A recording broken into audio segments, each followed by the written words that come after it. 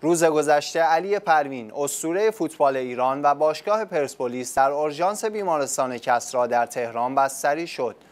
بستری شدن این بازیکن و سرمربی سابق تیم ملی فوتبال ایران نگرانی هواداران وی را در پی داشته.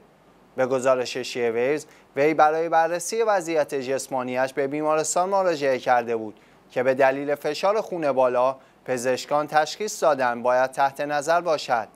محمد پروین با انتشار ویدیویی در فضای مجازی اعلام کرد که حال پدرش خوب است و به زودی از بیمارستان مرخص می شود.